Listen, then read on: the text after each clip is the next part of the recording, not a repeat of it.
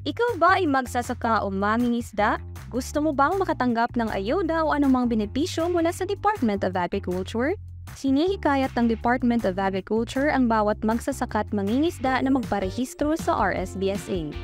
Ano nga ba ang RSBSA? Ang RSBSA o Register System for Basic Sectors in Agriculture ay opisyal na talaan ng pamahalaan upang mabigyan ng pagkakakilanlan ang mga tunay na magsasaka at mangingisdang Pilipino.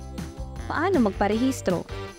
Step 1. Ihanda ang mga kaukulang dokumento gaya ng orihinal na kopya ng titulo ng lupa o anumang katibayan ng pagmamayari ng lupa. Orihinal na government ID at latest 2x2 ID picture. Step 2. Pumunta sa inyong City o Municipal Agriculture Office na nakakasakop sa inyong sakahan. Kumuha at sagutan ng RSBSA enrollment form. Step 3. Pagkatapos sagutan, papirmahan ang form sa inyong barangay chairman, City o Municipal Agriculturist at City o Municipal Agricultural and Fishery Council chairman. Step 4. Isumiti sa City o Municipal Agriculture Office ang kumpletong nasagutan na form kasama ang iba pang mga kailangang mga dokumento. At Step 5, kunin ang RSBSA enrollment stub na magsisilbing patunay na rehistrado ka na at upang maging kwalipikadong benepisyaryo ng anumang programa ng kagawaran. Para sa karagdagang impormasyon, makipag-ugnayan lamang sa inyong City or Municipal Agriculture Office o sa Department of Agriculture Regional Field Office 12.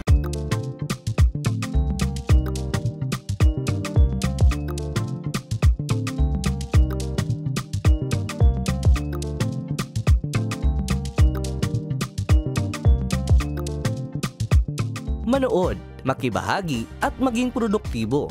Mga ka-agri, handa ka na bang muling matuto? Narito na ang mga panibagong episodes na tiyak na makakatulong sa inyong pagsasaka. School on the Air, School on the Air. o SOA on Rice Production.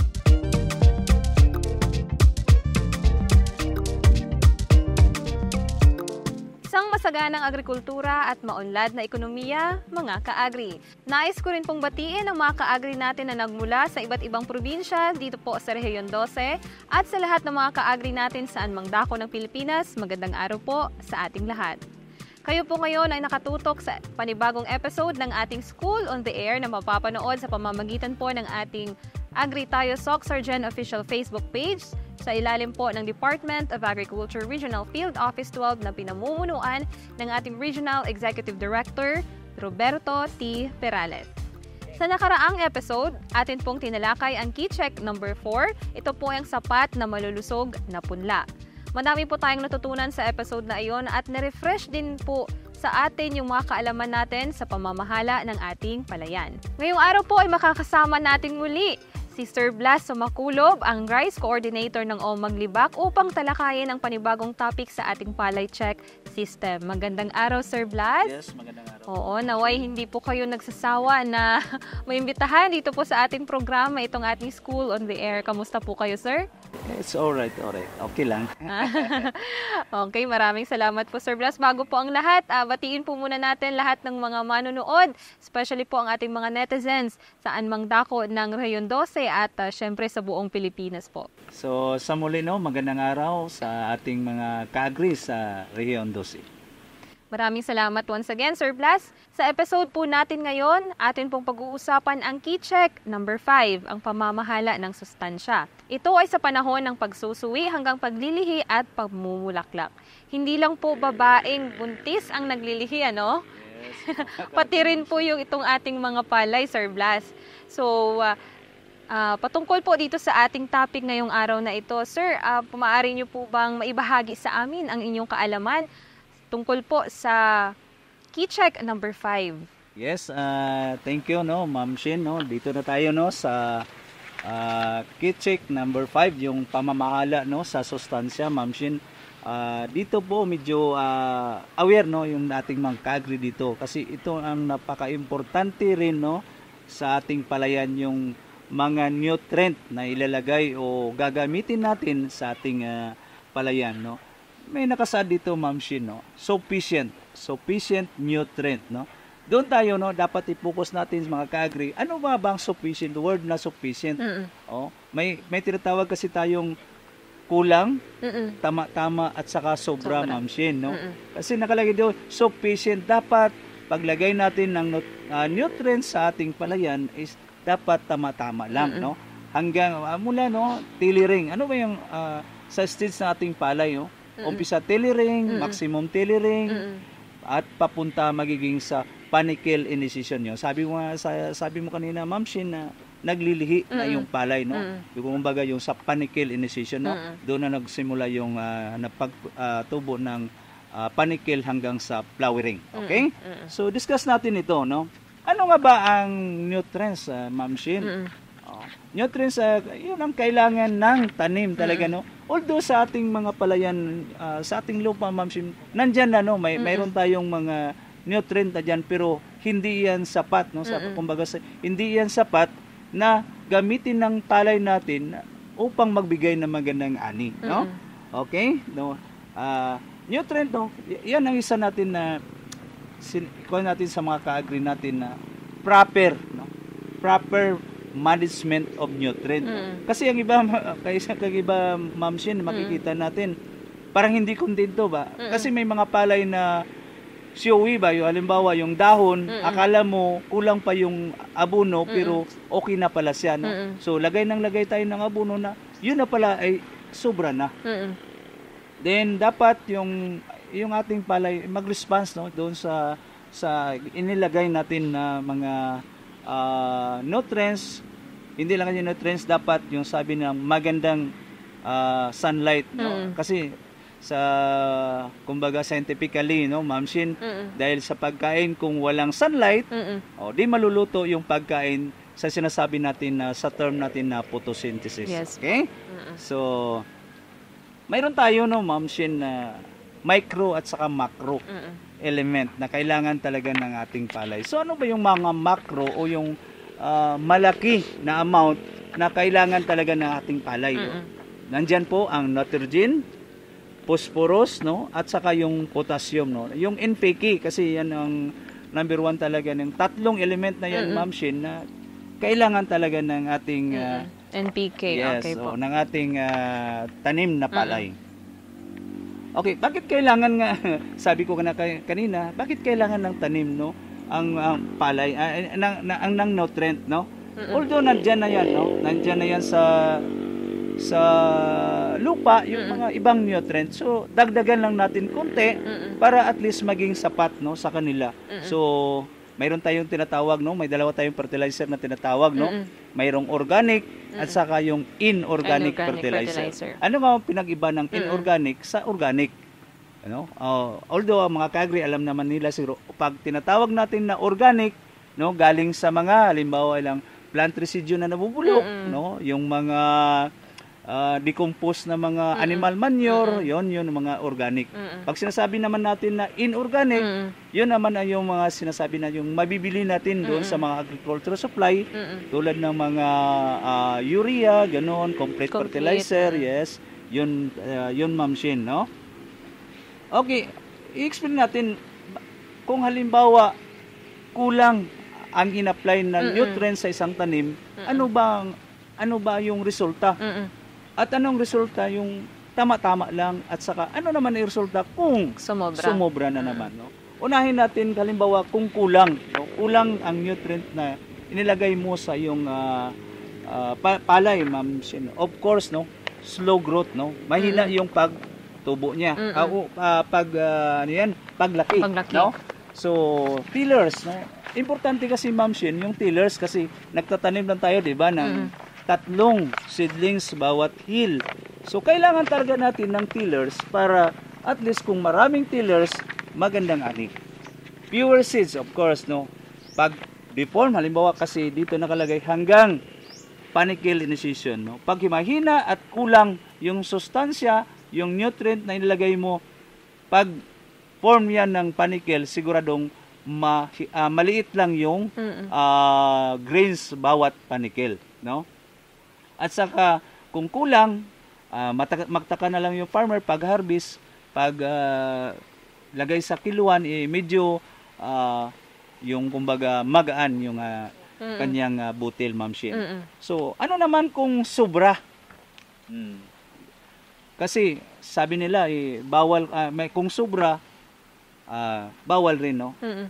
Kung sobra kasi Ma'am Shin na ilagay natin na nutrient especially kung sobra ng urea, yun talaga atakihin ng piste, no? Ah. Yan. ah, ma- kumbaga sabi ng piste ito, ah, ito maganda kasi mataba, Mm-mm. sobrang taba, Mm-mm. malambot, no? Yan, oh, susceptible siya sa mga piste.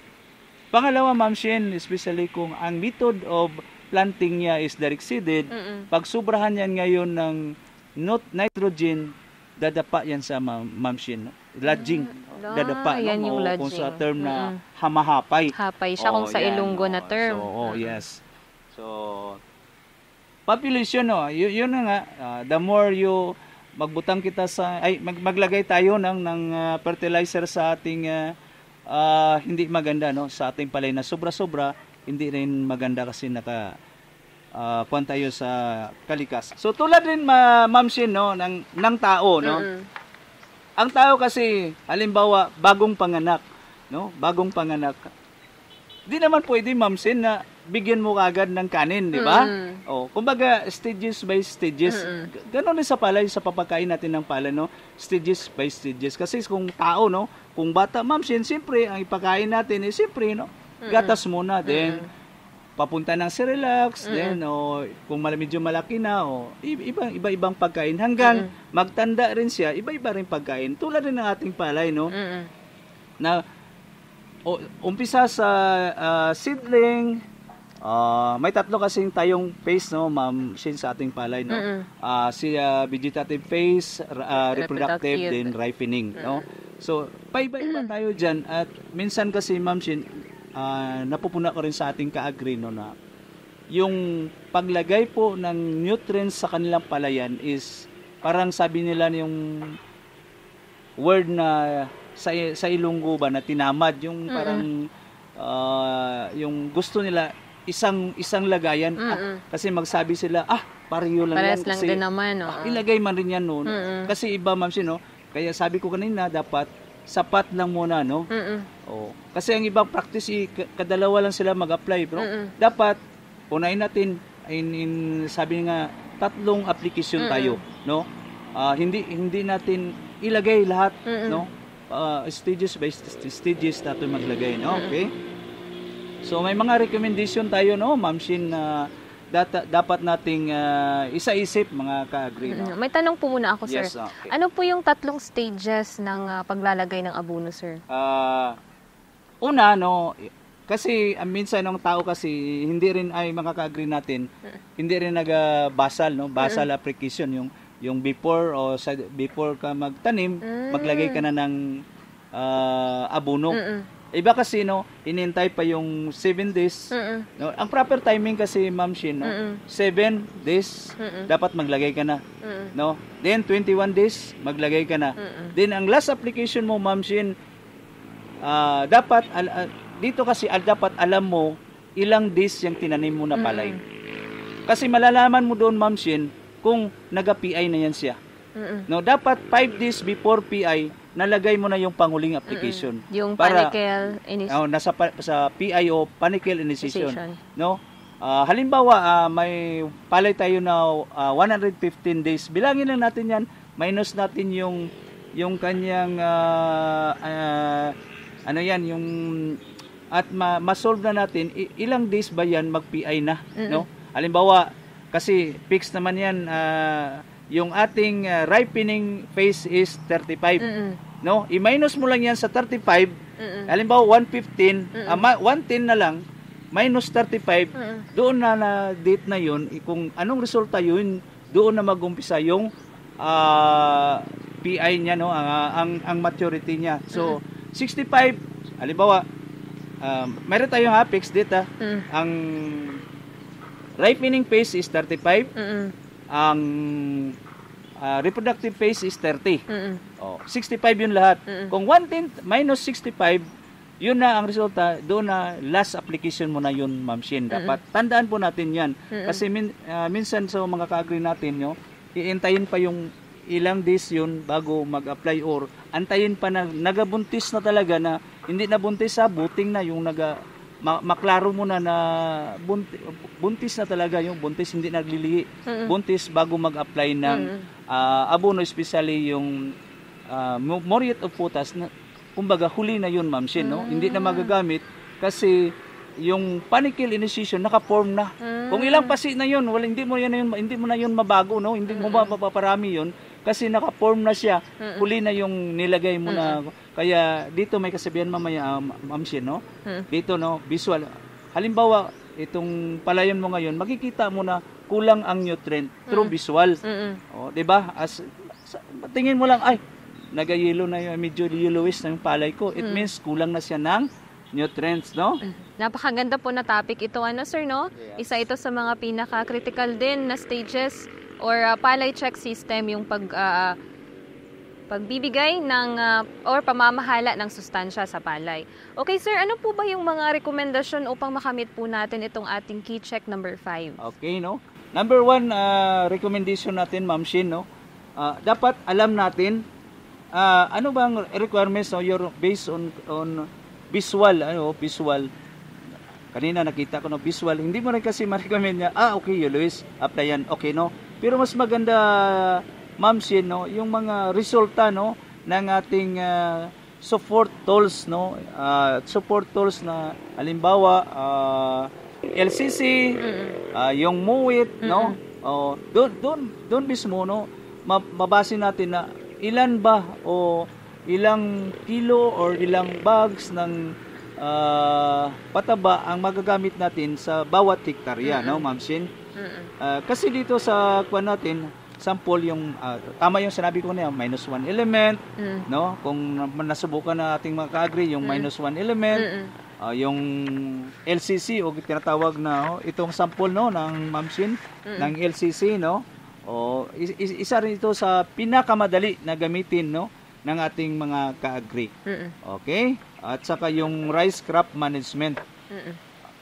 So pangalawang rekomendasyon, Ma'am Shin, is dapat ito ang pinaka maganda no na na gawin ng ating ka-agree. Mm-mm. Oo.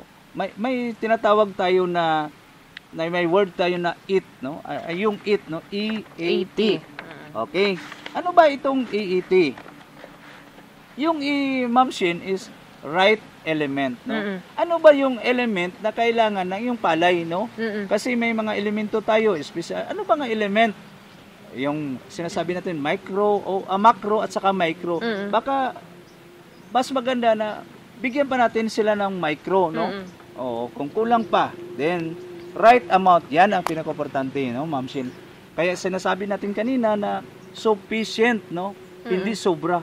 Ayo. Kaya right amount of fertilizer, ang i-apply lang natin, na huwag pa sobra-sobra. Mm-mm. Then the right timing. Yun ang sinasabi ko na, "Ma'am Shin, ano ba ang timing na pag-aabuno, no? Mm-mm.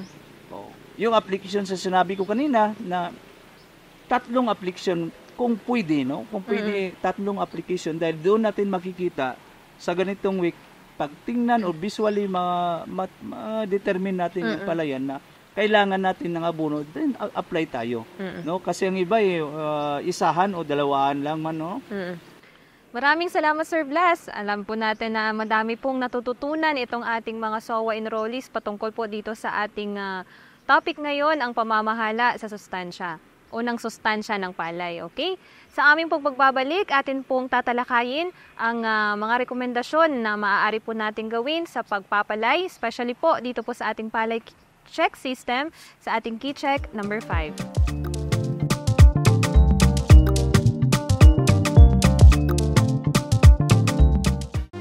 Protektahan ang inyong alagang baboy kontra African swine fever.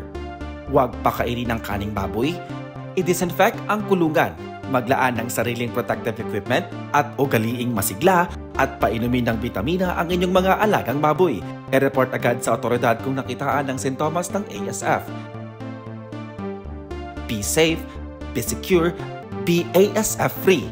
Ang paalalang ito ay hatid sa inyo ng Department of Agriculture Region 12 Mga dapat tandaan sa panahon ng El Nino. Sa mga nagsasaka, gumamit ng mga drought-tolerant at early maturing na variety ng binhi. Pangisdaan naman ay dapat gumamit ng aerator upang maikalat ng gusto ang oxygen. Suriin ang pan at siguraduhin wala itong tagas. At sa inyong mga alagang hayop, kailangang maginhawa ang kulungan at ugaliin ang pag-iimbak ng malinis na tubig. Para sa karagdagang kaalaman, makipag-ugnayan sa aming tanggapan.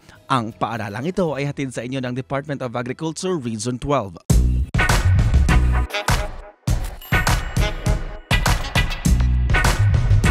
Magandang araw mga ka-agri! Makakasama pa rin po natin ngayon ang Rice Coordinator ng Libak, Sultan Kudarato o Maglibak na si Sir Blas Sumapulo. Magandang araw, Sir! Magandang araw, Ma'am Shin.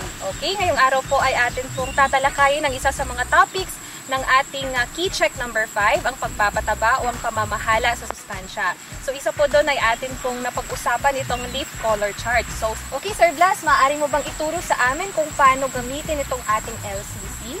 Yes, ma'am, no. Ah, good morning mga ka-agri.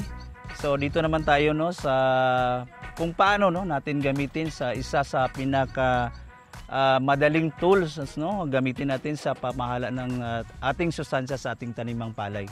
Ma'am Shin, ito ang pinaka madali no na makita natin pero remember natin Ma'am Shin, ang ma-detect nilang nito is or ma-determine nito is ang kakulangan ng ah, sustansya na urea no. So ito ay ito ang tinatawag natin na LCC or uh, leaf color chart no? A chart okay? So ito napakadali ma'am Shin no? Paano natin ba ito gamitin? Ah, kung sa mga direct seeded natin gamitin ma'am Shin dapat nasa 14 days na ang ating uh, direct seeded no? Kung sa transplanted naman po ay dapat ah, 21 days after transplanting. So madali natin gamitin no? At ano ba ang oras na dapat kasi may oras ma'am Shin eh kung kailan natin ito gamitin no? Dapat sangkop na oras no? Gamitin lang po natin ito sa ah, 8 to 10 o'clock in the morning no? Bakit nga ba 8 to 10 para ma'am Shin para dito di- kung maaga pa kasi no mag- makita natin sa ating palayan na may mga hamog pa. So medyo hindi natin ma-determine kung ano ba ito na kulay no? Kung 8 to 10 medyo nainitan na so tuyo na ang kanilang ah, ah, hamog. So ma-determine natin. Ang pinaka-importante ma'am Shin dapat malaman natin ano ba ang kakulangan no? So madali natin itong gamitin no? So ah, ito ma'am Shin i-demo natin no? Dapat magpili tayo ng yung yung dahon na healthy no? Hin- hindi hindi siya infested with ah, disease no? Dapat yung healthy. At saka yung sa outmost no? Yung pinakadulo ma'am Shin na develop na siya. Hindi yung naka nakatikop pa no? Yung de- well develop na siya. So i- ito rin ang tandaan natin ma'am Shin no? I- itong leaf color chart o LCC kung medyo maaraw, huwag nating itapat sa araw, no? Mag- Mag-reading tayo dito, huwag iharap sa araw ito kasi medyo bias 'yun. Kasi nakarap medyo tagilid tayo sa araw, no? So madali lang natin i- gamitin ito, Ma'am Shin. Itapat natin sa pil- polydevelop, no? Pil- Polydevelop na e- example ito, polydevelop na siya na dahon. Oo, dahon. Hawakan natin sa gitna, Ma'am Shin, no? Unahin natin sa kasi ito direct seeded ito eh. So dapat kung pag-determine natin dito na sa number 2 no, kung hindi pa siya angkop, move tayo sa number 3.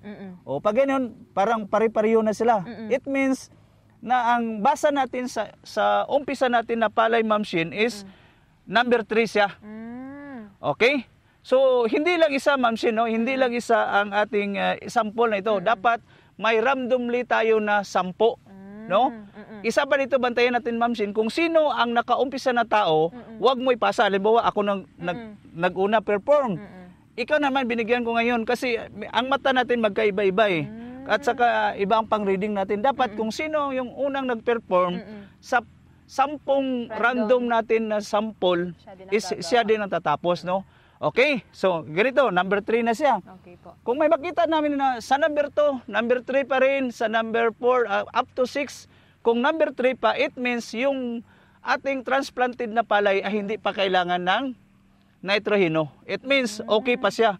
Pero pag sa number 2 siya, yung anim na tanim natin is dito nag, naghiyang sa number 2 na kulay, it means kulang na siya sa sustansyang nutrino. So ma- ma- ang recommended ang recommended rate dito, Ma'am Shin, is mabawasan natin sa likod, no? Kung halimbawa kung kulang na siya, dito is may mga recommended rate naman tayo dito ng nitrogen kung ilan ang i-apply natin sa ating tanim, no? Sa transplanted naman is iba, Ma'am Shin, no? Dapat kung transplanted, hindi bababa sa 4. 4 naman kasi transplanted siya, no? Number 4 yung dapat niya.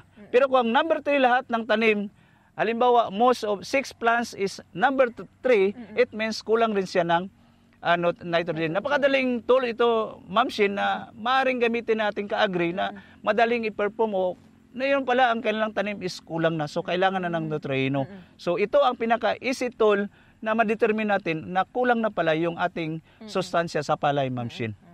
Okay mga ka-agri, atin pong napag-alaman kung gaano po kahalaga ang paggamit ng LCC or ang ating leaf color chart, di ba Sir Blas? Yes, ma'am. Opo, sa pamamagitan po nito, malalaman po natin na kung kailangan pa ba ng ating ah, palay yung ah, sapat na nitrogen. Tama po ba Sir Blas? yes, ma'am. Okay, so maraming maraming salamat Sir Blas. Maraming salamat mga ka-agri na may marami kayong natutunan sa episode na ito.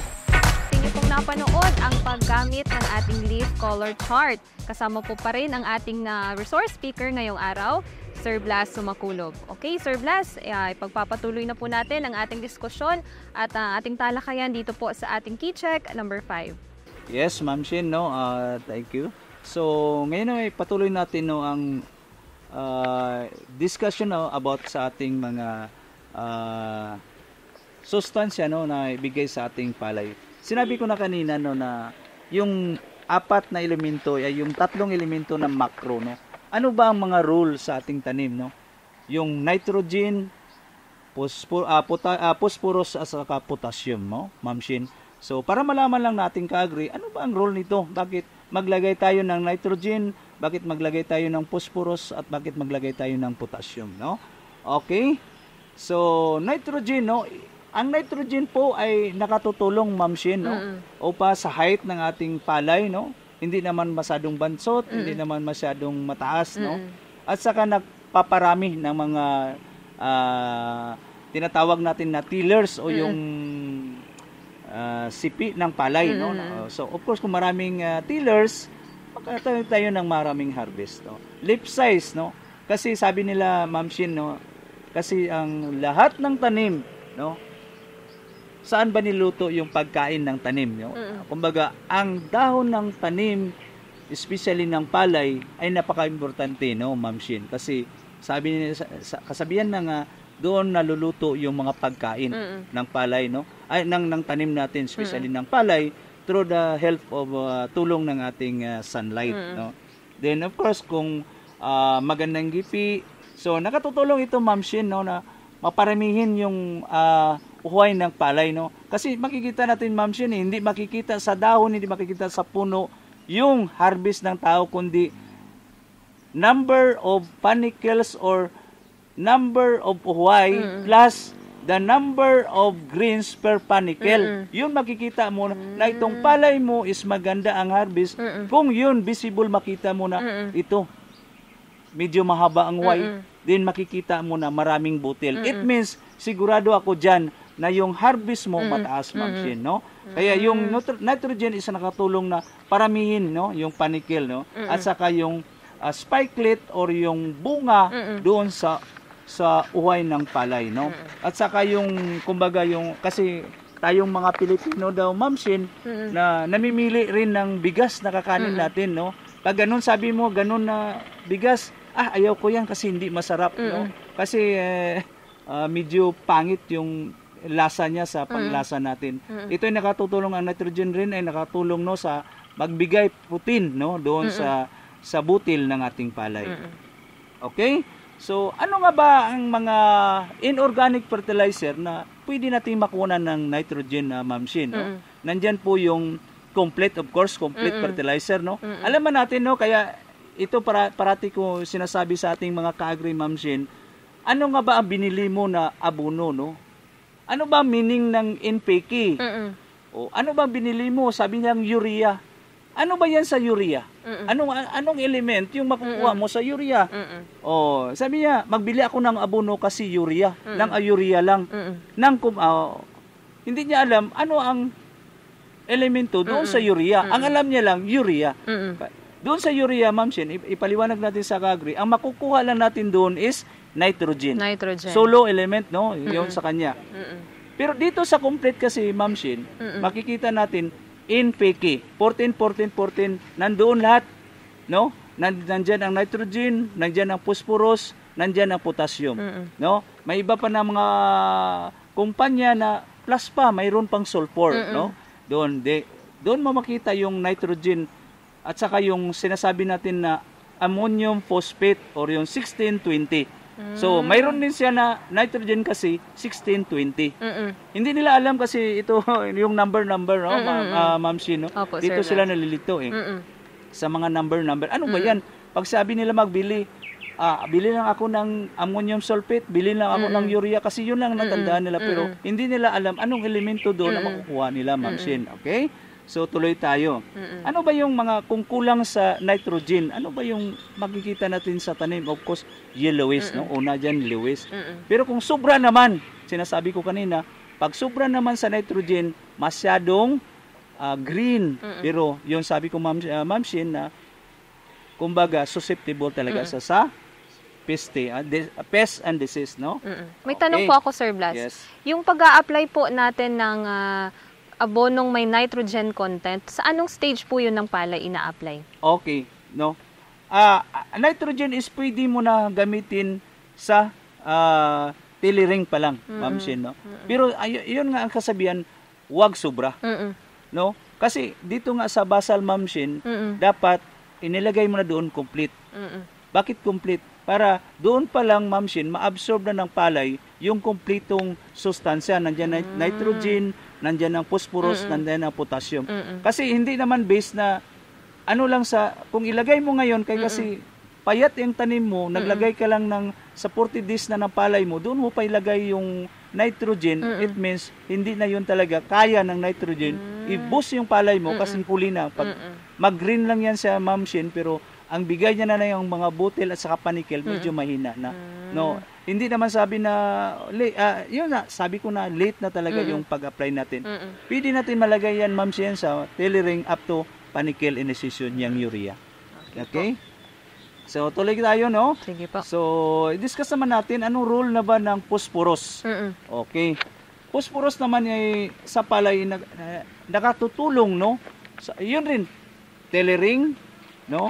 Then, ripening. At isa pa, nakatutulong ito upang ah, matibay, Ma'am Shin, no? Especially kung mga lodging area, nagpapatibay ng katawan ng palay, no? Kumbaga, pag nilagay na ito, parang sabi mo, hindi madali madapa, Mm-mm. no? O, basta sabi natin, Ma'am Shin, sa tama-tama na Mm-mm. paglagay, okay? Mm-mm. So saan naman natin makukuha yung phosphorus na sinasabi? Mm-mm. Although ah, tama 'yan, no? Mm-mm. Sa 14-14 doon rin, no? Kasi yung 14 NPK kasi yan, no? 14-14-14 complete fertilizer, nandyan na rin ang phosphorus.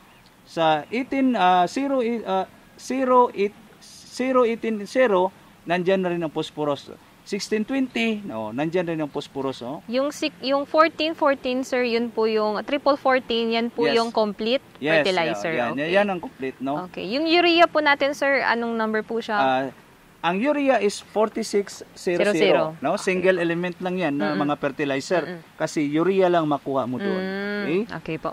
Okay. Sige, sir. So, ano naman yung ah, ah, symptoms na kulang siya ng ah, tinatawag nating phosphorus, no? So, medyo no, kumbaga ang tanim is ah, ah, bansot, no? Bansot, no? Saka yung kanyang ah, dahon ah, medyo erect yung yung pa, pakwan lang yung hindi naga hindi naga-form ng ganun ng canopy no medyo diretso lang no erect ng kanyang Mm-mm. symptoms sa Ma'am Shin. Mm-mm. So, punta naman tayo no sa potassium. Isa rin itong malaga no, ang potassium. Ano nga ba role, ang role ng potassium? Sabi nga nila Ma'am Shin, itong pos- potassium is katulad ah, kung sa tao, ito is a vitamin C ng ah, tanim natin kasi ito ang nagpapatibay upang hindi atakihin ng peste at saka yung mga sakit, no? Kumbaga, vitamin C sa ating mga tanim, no? Ah, natutulong rito na yun nga sabi nila pag ah, binigyan mo ng potassium Mm-mm. magiging vigor o malakas yung katawan ng palay ng ating ah, palay Ma'am Jean no ah Ma'am Ma'am Shin Mm-mm. so yun nga sabi nila kasi may climate change tayo ngayon no ah, na sinasabi na adverse no? katulad no sa ibang lugar maulan ah hindi ulan pero dito sa atin ulan Mm-mm. kumbaga may climate change na mamaya init mam- mamaya naman ulan, Ulan. so kayang-kaya no kaya sabi Mm-mm. ko ito ay vitamin C Mm-mm. ng ating ah, palay para magiging resist, resist, may resistensya sa mga sakit Mm-mm. Okay? So, saan po makukuha natin itong ah, ah, ah, potassium, Ma'am ah, Shin, no? Mm-mm. So, doon rin, no, makukuha rin natin sa triple 14 or complete fertilizer. At saka, mas, mas maganda kasi, Ma'am Shin, ah, yung single element. Kasi malaki ang porsyento doon. Halimbawa, yung 0060. Mm-mm. Kung nagbili lamang po tayo ng 14-14 Ma'am Shin kasi, 14% lang Mm-mm. ng potassium yung makukuha ng palay sa ganong Mm-mm. ah, ganong ah, binili mo na fertilizer. Pero kung nagbili ka ng single element o muriate of potash na 0060, Mm-mm. 60% ang makukuha mo talaga, Ma'am Shin. Kaya ah, aware no, mga ka-agree, aware tayo na ano ba, bakit ah naglagay naman kami sir ng 14-14 pero yun pala ay hindi sapat no sa ating ah, pa- ah, pananim no. Mm-mm. So ang makikita natin ng mga deficiency Ma'am Shin no, Mm-mm. kung halimbawa kulang siya sa sa potassium, yung mga ka-agree no, tandaan natin paglabas ng bunga ng ating palay, hindi pa yan siya hinog Ma'am Shin, yung dahon niya or yung last leaf no kasi yung last leaf Ma'am Shin, yung Mm. ang pinaka-importante na dahon ng ating palay no. Mm. Kaya doon lang sa last leaf kaya sinasabi ko na sa mga ating ka-agree, depinderan natin itong last leaf no. Mm. Madamage yung bahala yung older leaves, hindi lang yung last leaf. Mm. Kasi kasi itong last leaf yun talaga nagasuporta na pagkain Mm. na ng ating ah, palay, especially palay, no? Mm-mm. Sa sa pag ah, pag-absorb ng pagkain o pagluto ng pagkain yung sa last leaf. So kung kulang ng potassium, madaling ah, magyelo yung last leaf niya. Mm-mm. So magtaka ka na ang yung palay, uy, nahinog ka agad. No, kasi nauna lang na hindi pa sana ah, timing na ganun ang ang ganun ka ang maturity day niya Mm-mm. medyo maaga yung pag-harvest mo kasi ang last leaf ay hindi na makasuporta ng pagkain sa tanim. So anong anong resulta niya Ma'am Shin? Mm-mm. Yung yung doon sa banda sa kumbaga doon sa pinaka dulo ay yung sa pinaka una na bunga yung Mm. dito sa abaga kung yung baga sa term sa abaga medyo ah, hindi na walang laman na Ma'am Shin kasi kaya sabi natin kung mag-ani tayo upa na no? Walang laman unfilled green yan kasi yung last leaf na unang na, na nag-mature no? Hindi na siya kasuporta sa mga pagkain na i-support sa bunga rin ng ating tanim no? Mm-mm. okay so yun lang ma'am sino ang ikuan ko lang no? Ah, ito i-discuss ko rin yo. Especially dito sa aming lugar. May lugar kasi kami dito ma'am Shin na yung hindi nga matuyuan. Mm-mm. no? So kulang talaga yan ng ah, kumbaga mayroon tayong ah, zinc deficiency no? Magtaka lang tayo no na yung area na medyo ah, mab- ah, hindi matuyuan is palaging nagayelo no stunted. Kasi kulang yan siya ng zinc no? Kaya kailangan tayong mag-apply ng zinc no So expound ko lang no yung sabi ko kanina sa mga fertilizer. Kasi ang iba ma'am Shin sabi niya ah tatlong sako na. Mm-mm. yung na-apply ko bakit hindi ganun pa rin ma'am Shin? No kaya gani ah, sana dito sa amin i-recommend i-recommenda talaga namin ma'am Shin yung soil analysis no? Kasi minsan yun yung it na tinatawag hindi natin masusunod. Mm-mm. no? Kasi ang kal- kalimitan ng mga farmer natin kung ilang bag ang nabigay nila noong cropping na yun parang ganon pa rin. Sa sunod or sa parang parang ganon na halimbawa tatlong bag lang yan. Ah Mm-mm. yan ang parati yung binigay ko tatlong bag na lang parati yan. Yung sa sunod na cropping ganon pa lang. Mm-mm. pero hindi niya lang observe kulang nagakulang yung anong element doon ang kulang na. So sana yung mga ating mga ka-agree no na dapat ipa-soil analysis natin yung ating pa ating ah, palayan para malaman natin ma'am Shin kung ano ba talaga ilang porsyento ba ng nitrogen ang ilagay ilang porsyento ilang kilo ng phosphorus yung ilagay at ilang kilo ng potassium ang ilagay natin sa taniman para yun ang maging kumbaga sufficient amount ng ah, ating palay na makukuha. No kasi minsan na, nalilito rin na sabi ko halimbawa sa isang bag ma'am Shin, no? Mm-mm. Ilang porsyento halimbawa triple 14. ay ah, urea na lang tayo Ma'am Shin. Mm-mm. Ilang porsyento ng nitrogen mo makukuha sa isang bag ng urea? Mm-mm. Magsabi sila 6 ah, 40 40 46 sir kasi nakalagay diyan. So hindi. Halimbawa kung recommended ka 46 kilogram uh, 46% of nitrogen ilagay mo doon Mm-mm. sa iyong palayan. Isang bag lang ibinili mo. Mm-mm. Sigurado yan, Ma'am Shin, kulang. Mm-mm. Kasi isang bag is 50 kilos lang. Mm-mm. Kasi kung percent ang i-discuss natin, Mm-mm. dapat 100. Mm. No? So, dapat kung 40 46% ang kailangan ng ating palayan sa isang hektarya, Mm-mm. dapat dalawang bag Mm-mm. ang mailagay. Kaya, kaya sabi ko sa mga kaagri natin, huwag malito kasi ah, sabi niya, okay na yan kasi 46 na ilagay ko. Pero hindi kulang pala isang Mm-mm. bag. Dapat dalawang bag para 100 ah, 100 kilos yun. Yun na talagang masasabi natin na 46% ng urea ang Mm. manlalagay na talaga doon sa ating pananim, Ma'am Shin. Okay, so so ma, Ah, so may- so yes, ah, may tanong Related po tayo. doon sa nabanggit po ninyo kanina sir na dapat ipa ah, ipasa po natin o ipa-analyze po natin yung ating mga soil ano. Meron po tayong ah, division or division po sa DA or Department of Agriculture. Ito po ang aming ah, Integrated Laboratories Division.